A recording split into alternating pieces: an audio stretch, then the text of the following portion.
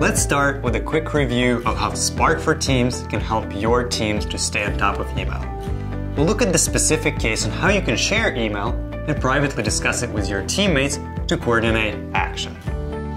One of our potential partners reached out offering new product integration that I need to discuss with the rest of my team. Other teams often get similar emails from their clients or partners that need to be discussed with their teammates.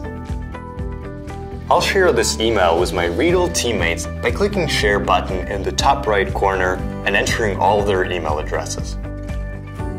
Once it's shared, I'm able to add a private comment to clarify a few things and make sure everybody is on the same page.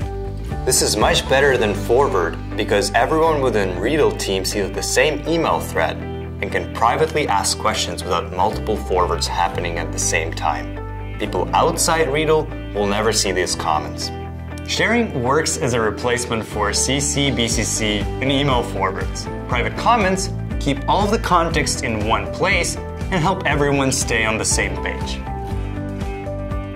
I'll use @mention to add our engineering lead and clarify a few technical things. Once we are done, I can go back and respond to our partner. This conversation involved three people and could easily become a mess in traditional email. With Spark for Teams, we kept it neatly organized using shared email between team members.